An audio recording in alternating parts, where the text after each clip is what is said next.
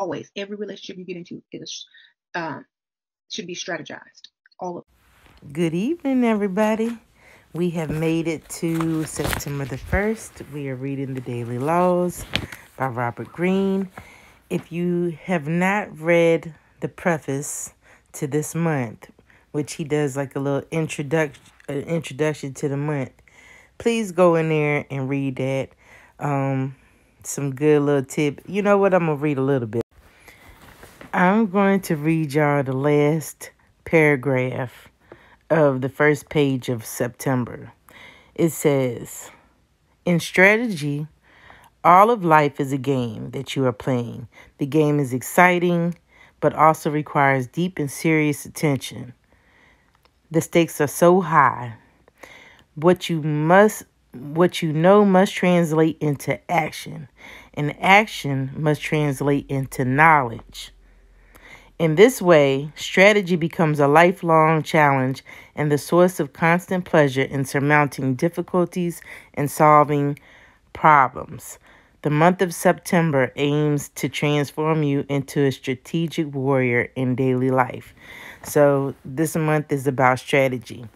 Now, the fact that he used the the challenge and the source of constant pleasure in surmounting difficulties, I noticed that I, I've always kind of called myself a hedonist, which is a pleasure seeker. And pleasure doesn't have to be a bad thing. Pleasure, you can find pleasure in the simple things in life, you know. Doesn't have to be sexual, y'all. Um, but you should be finding pleasure out of getting through your challenges. Okay, so we're going to go right into September 1st. September the 1st. So it says, elevate yourself above the battlefield. Strategy is more than a science, it is the application of knowledge to practical life, the development of thought capable of modifying the original guiding idea in the light of ever changing situations. It is the art of acting under the pressure of the most difficult conditions. Helmuth von Moltke. In war, strategy is the art of commanding the entire military operation. Tactics, on the other hand, is the skill of forming up the army for battle itself and dealing with the immediate needs of the battlefield. Most of us in life are tac- tacticians, not strat- strategists. We become so em- enmeshed in the conflicts we face that we can think only of how to get what we want in the battle we are currently facing. So we we can only deal with what we're going through at the time. To think strategically is difficult and unnatural. You may imagine you are being strategic, but in all likelihood, you are merely being tactical. To have the power that only strategy can bring, you must be able to elevate yourself above the battlefield to focus on your long term objectives, to craft an entire campaign to get out of the reactive mode that so many battles in life lock you into.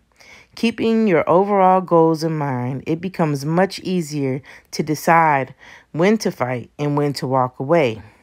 That makes the tactical de- decisions of daily life much simpler and more rational.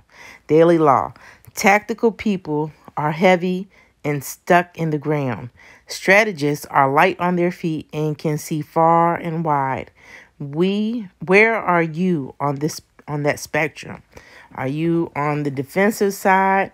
Like the saying it says be proactive instead of reactive. Like if you're already if you're only in the thick of whatever's going on in your life and you're not setting goals and planning for your future self, for where you want to be um, you know, in the next 5 years, if you can't even see that vision because you're so stuck in your mind and where you are in life spiraling or whatever the heck you got going on, then you're you're in tactical mode and you need to get into strategy, the strategy mode. Okay, that's what he's talking about. This is going to be a really good month.